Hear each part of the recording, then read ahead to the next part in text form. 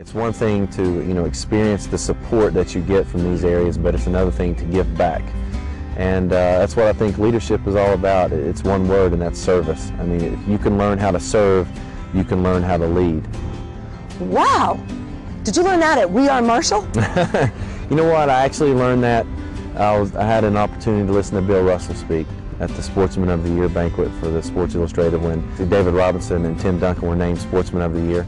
And Bill Russell was there to give the awards, and he spoke about leadership, and that's what he talked about, service. And I've always kept that. And he, he's Bill kind of actually um, started my interest in learning how to be a leader, and, and just kind of, you know, studied leadership and what it's all about.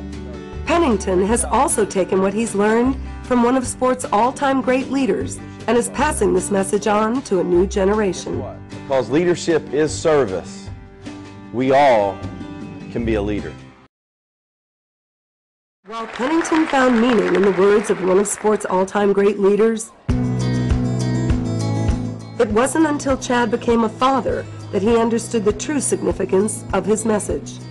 I was kind of out there like a feather in a windstorm and not knowing which direction to go and, and having a couple of different focuses. But once I became a father and experienced the birth of my own child, I knew what my focus was, and it all came into a clear picture.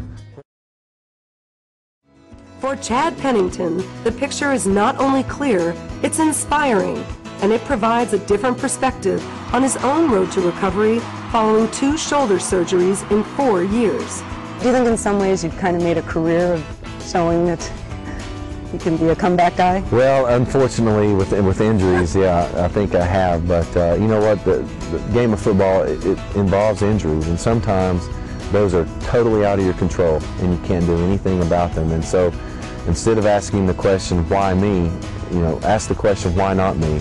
Why not me and put me in this situation? I know I can get out of it and show people that there's hope and there's light at the end of the tunnel. So that's kind of what I focused on. And I always, you know, I would ask myself, why not me? I'm put in this position for a reason.